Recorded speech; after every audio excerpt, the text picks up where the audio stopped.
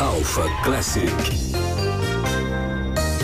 Algumas músicas conseguem promover uma reflexão, e é o caso desse clássico do final dos anos 70 do grupo Shalamar. A letra fala que às vezes uma separação do casal pode servir para que as pessoas percebam que um pertence ao outro. E agora uma curiosidade, mas com relação à banda. A primeira formação clássica era para ser um grupo de estúdio reunido para lançar um single chamado Uptown Festival, uma espécie de medley de sucessos para Motown. Só que o negócio deu tão certo que em 1977 a formação que era eventual se consolidou.